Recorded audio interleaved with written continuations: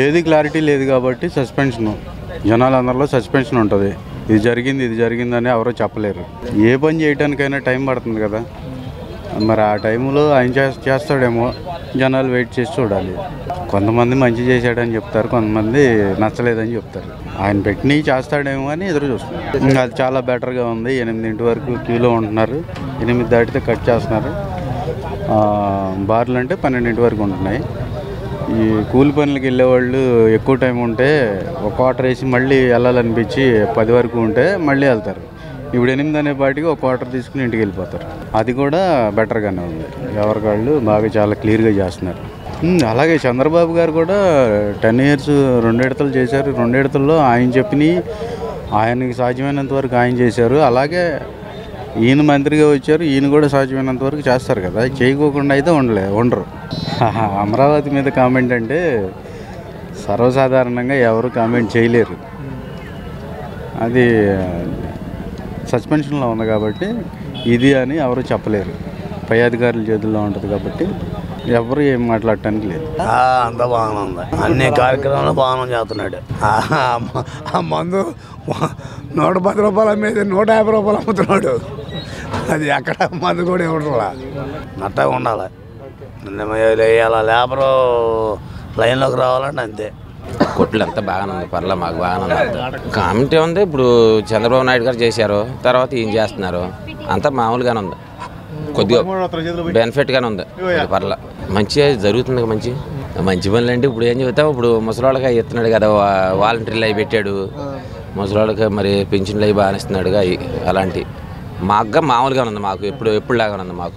Development అంటే ఏం చేసిండు ఏం చేయలేదు. ఎంతసేపు ఆటో వాళ్ళకే ఇలా డబ్బులు ఇచ్చిండు తప్పితే జనానికి ఏం చేశాడు?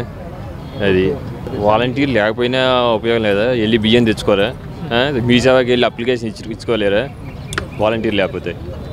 మార్కెట్కి వచ్చిన వాళ్ళు. మీ సేవకి వెళ్ళలేమా? బియ్యం తెచ్చుకోలేమా? ఉపయోగం ఏముంది? వాళ్ళందరూ ఊళ్ళో ఉన్న ఉపయోగం ఏముంది? ఊళ్ళో పొలాల్లో తిరుగుతుంటాం. ఈ పనులు మాకు చేసుకోలేము. ఎన్నాళ్ళు నుంచి చేసుకున్నాం? ఇప్పుడు చేసుకుంటాం? అంతే. పైన చెవులు బంద్ చేసిన ఇప్పుడు కూరగాయల మార్కెట్ ఇక్కడ గొల్లపూడిలో పెట్టినా అక్కడికైనా వెళ్తాం. అది. కాసిన కూరగాయలు. ముందు తాగాలి అనుకున్నాడు ఎక్కడికైనా కాదు. కాకపోతే ఉల్లిపాయలు రేటు పెరిగినప్పుడు ఉల్లిపాయలు తక్కువ తింటాం. అంతే తప్ప ఉల్లిపాయ తింటాం ఆవులంగా. కొత్త ధనం ఏమీ లేదు దాంట్లో. ఉన్న వాటిని నడిపిస్తున్నాడు. అదే పింఛన్లు అదే ఆటో వాళ్ళకి పదివేలు వేస్తున్నాడు. ఆటో వాళ్ళు సంపాదించుకోవట్లేదు. రోజుకి వెయ్యి రూపాయలు వస్తున్నాయి ఒక్కొక్కరికి మరి పదివేలు ఇచ్చి ఇంకా సోమరిపోతం చేయడం చెప్తే ఏముంది? అమ్మఒడి ఉందా? దాని ఉపయోగం ఏమని చెప్పు? ఇంటికి పదిహేను వేలు ఏమైనా ఉపయోగం ఉందా? జగన్మోహన్ రెడ్డి గారు అధికారంలోకి వచ్చిన తర్వాత ఒక కుల విభజన అనేది లేకుండా ఒక ఎస్సీ ఎస్టీ బీసీ మైనారిటీ అన్ని కులాలను కూడా సమాన సమానంగా చూస్తూ ఎక్కడ కూడా కుల రాజకీయాలు అనేది ఎక్కడా కూడా కనిపించట్లేదు. ఇది ఒకటి గమనించాలి. ఫస్ట్ ప్రతి ఎస్సీ ఎస్టీ బీసీలు ప్రతి పేద వర్గాలందరికీ కూడా చేదుడువాదుగా ఉంటూ ఇచ్చిన పథకాలని అమలు చేస్తూ ఒక ఆరు నెలల్లోనే ఒక మంచి రిజల్ట్ అనేది రావటం గమనించాలి. వీళ్ళు టీడీపీ వాళ్ళు ఐదు సంవత్సరాలు పరిపాలించినా కూడా ఎక్కడో కూడా పేద ప్రజల గురించి పట్టించుకున్న దాఖలాలు ఎక్కడ కనపడలేదు. ఒక ఎలక్షను ఒక ఆరు నెలలు ఉందానంగా అన్నా క్యాంటీన్లని మరి రకరకాలుగా పథకాలు పెట్టి మరి పశువు కుంకుమ అని చెప్పేసి ప్రజల్ని మోసం చేసేటటువంటి ఒక దృక్పథమే తప్ప ప్రజల్ని మరి ఏ- ఏ కోసైనా కూడా వాళ్ళ ఆర్థిక అభివృద్ధికి ఉపయోగపడే పరిస్థితి ఎక్కడా కనపడలేదు. మొత్తంగా చూస్తే ఈ ఆరు నెలలు జగన్మోహన్ రెడ్డి గారి ప్రభుత్వం సానుకూలంగా ప్రజలకు అందు అన్ని రకాల కూడా ఉపయోగకరంగా ఉంది. టీడీపీ టీడీపీ వాళ్ళు ఇసుక ఇసుక మీద కనీసం ఒక యాభై వేల కోట్ల దాకా వాళ్ళు దాని మీద అక్రమ రవాణా చేయటం మరి రకరకాలుగా దాని మీద దోపిడీ జరిగింది. మరి జగన్మోహన్ రెడ్డి గారు అధికారంలో రాగానే ఇసుక అక్రమ రవాణాని అరికట్టి మరి గవర్నమెంట్ మరి టీడీపీ వాళ్ళు పోతా పోతా మూడు లక్షల కోట్లు మరి మూట కట్టి అప్పచెప్పి వెళ్ళారు.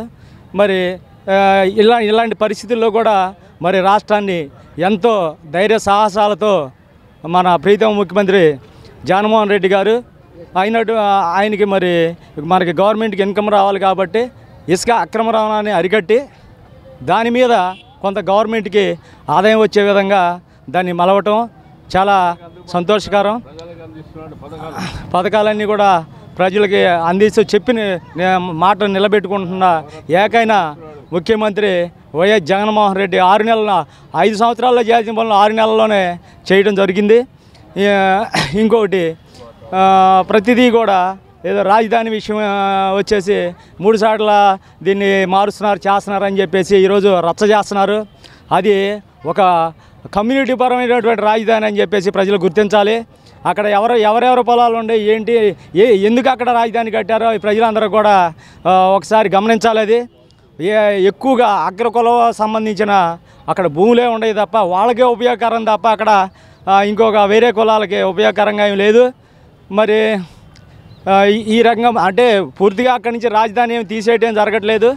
మరి అన్ని ప్రాంతాలు అన్ని జిల్లాలో కూడా అభివృద్ధి చెందాలనే ఉద్దేశంతో మరి హైకోర్టుని కర్నూలులోను మరి మిగతా వైజాగ్ని ఆర్థిక రాజ్యం సచివాలయం ఇవి కూడా కొన్ని ఏరియాల్లో పెడితే మొత్తం ఓవరాల్గా కూడా స్టేట్ మొత్తం కూడా అభివృద్ధి చెందడానికి అవకాశం ఉంటుంది కాబట్టి ఎక్కడా కూడా రైతులు భూములు తీసుకున్నా కూడా వాళ్ళకి ఎటువంటి అన్యాయం జరగకుండా వాళ్ళ రే ఫలాల రేట్లు కూడా త- తగ్గే విధంగా లేకుండా మరి చర్యలు తీసుకోవడం జరుగుతుంది. జగన్మోహన్ రెడ్డి గారు దీని మీద అనవసరమైన రాద్ధాంతం చేసి ఏదో రకమైన జగన్మోహన్ రెడ్డి గారి మీద బురద చల్లి ఆయన్ని ఇరకాటంలో పెట్టాలనే ఒక కాన్సెప్టే కనపడుతుంది తప్ప ఇంకొకటి ఈ ప్రతిపక్షాలకి ఇక వేరే పని ఏం కనపడతలేదు. దయచేసి ఇవన్నీ గమనించాలి. జగన్మోహన్ రెడ్డి గారు ఆరు నెలల పాలనలో అన్ని విధాల అన్ని పథకాలను అమలు చేస్తానని వారి మాట నవరత్నాలు చేస్తానని ఇప్పటికీ సగం చేశారు. ఇంకొక సంవత్సరం లోపు అన్నీ చేస్తానని మాట ఇచ్చారు ఆ మాట ప్రకారం నిలబెట్టుకుంటానికి జగన్మోహన్ రెడ్డి గారు సిద్ధంగా ఉన్నారు. జగన్మోహన్ రెడ్డి పాలనే ఈ రాష్ట్రానికి మంచిదని అందరూ కోరుకుంటున్నారు. చేశారు కాబట్టే కదా జగన్మోహన్ రెడ్డి గారు చేస్తున్నారు అన్ని పథకాలు చేస్తున్నారు. ఈ ఆరు నెలల్లో మార్పు వచ్చింది. మందులు కానీ మందు మద్యం నిషేధం చేసి వయసుల్లో ఇచ్చి మద్యం తాగే వాళ్ళకి చాలామందికి కంట్రోల్ చేశారు కాబట్టి ఈ పాలన ఇలాగే సాగించాలని జగన్మోహన్ రెడ్డి గారికి మరీ మరీ కోరుకుంటూ వైఎస్ పాలన ఉండాలని రాజశేఖర రెడ్డి గారి ఆశీస్సులతో ఆయన ఇంకా ఎదగాలని కోరుకుంటున్నాను. మీరెక్కడున్నా ఏం చేస్తున్నా ప్రపంచంలో ఏం జరుగుతుందనేది ఇప్పుడు మీకు పెట్లోకి తెచ్చేసింది one line app. Political movies రాశి ఫలాలు ఆరోగ్య సలహాలు సీరియల్స్ విశేషాలు. ఇలా ఒకటేమిటి? బోలెడన్ని విశేషాలను మినిట్ టు మినిట్ మీకు అందిస్తుంది one line app. So late ఎందుకు? డిస్క్రిప్షన్లో ఉన్న లింక్ ద్వారా వన్ లైన్ యాప్ డౌన్లోడ్ చేసుకోండి. One line it's for every